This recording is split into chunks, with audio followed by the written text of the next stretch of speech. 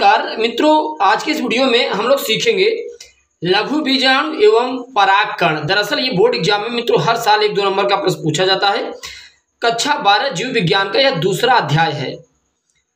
लघु बीजाणु या परागकण क्या होता है मित्रों? यहाँ पर जरा आप ध्यान दीजिए। मित्रों, परागकण का मतलब यह होता है ये ऐसे कण होते हैं जो किसी दूसरे पेड़ पौधों के मादा के जायांग में जाकर ये पेड़ पौधे निर्माण करते हैं या पुष्प का निर्माण करते हैं राइट तो लघु बीजाणु में परागकण क्या है? देखिए, इनकी क्या क्वालिटी होती है परागकणों की राइट परागकण अगुणित होता है। अगुणित मतलब मित्रों, जल्दी विभाजित नहीं होता, अगुणित होता है।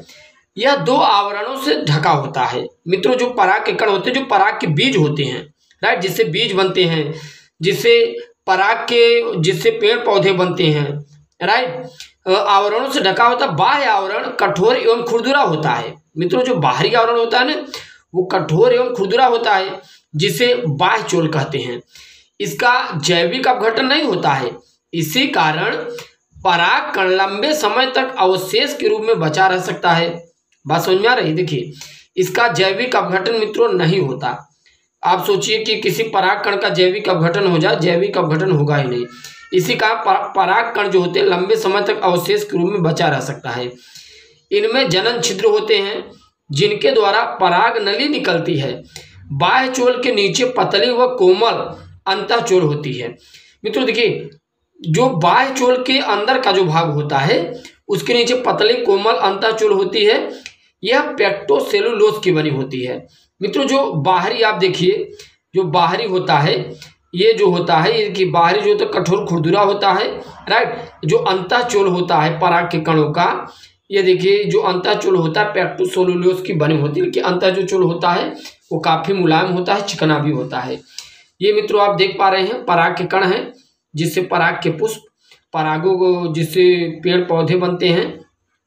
ये जनन छिद्र है मित्रों, ये जनन छिद्र का मतलब होता है कि इसी में मादा के जो अंडाणु होते हैं, प्रवेश करके अपना निर्माण करते हैं।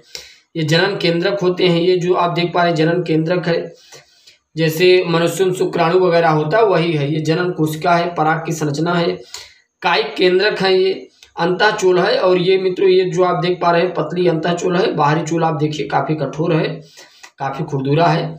राइट? तो इस प्रकार से मित्रों, ये है जो आपका लघु बीजाणु या परागकण। और ये मित्रों, हर साल आपके बोर्ड एग्ज़ाम में पूछा जाता है। और मित्रों, देखिए, आप जो, हम हेडिंग है एक एक हेडिंग करके हम तैयार कर रहे हैं। आपको प्लेलिस्ट में आप जाइए, वहाँ पे आपको पूरी हेडलाइंस मिलेगी। आप वहाँ से अपनी पूरी तैयारी भी कर सकते हैं।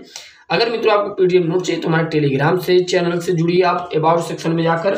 थैंक्स फॉर वॉचिंग धन्यवाद।